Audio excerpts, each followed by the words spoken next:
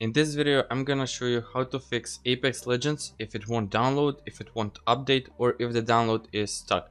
So make sure that you watch this video till the end if you want to know how to fix it.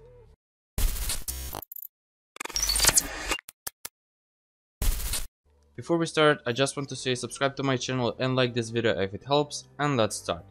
So first of all, what you want to do is open this PC, go to local disk C or the drive where you have Apex Legends installed at, open program files x86, open Origin Games, open the Apex folder,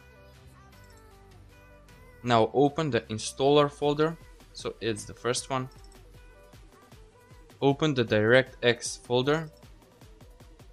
And now open the Redist folder.